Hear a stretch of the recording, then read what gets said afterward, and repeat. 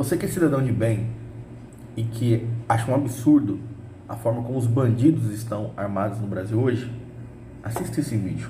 Seguramente um dos primeiros produtos do grupo de trabalho vai ser esta é, sugestão, indicação ao presidente Lula de revogações de atos que recomponham para o futuro o sistema de controle e nós ponhamos fim ao liberou geral. O liberou geral é um fracasso, alimenta violência e coloca armas na mão do crime organizado. Flávio Dino também se pôs.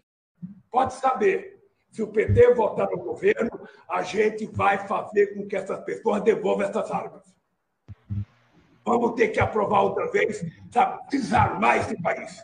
O discurso, né? Eles falam que é para tirar a arma da mão das pessoas por causa do crime organizado.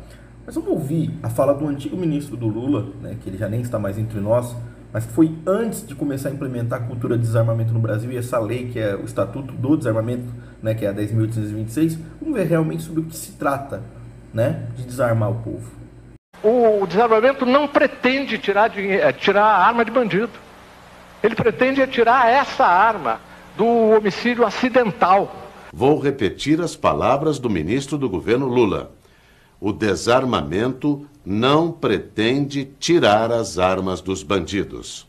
O que todo mundo quer saber, ministro, é quando as armas dos bandidos serão tiradas.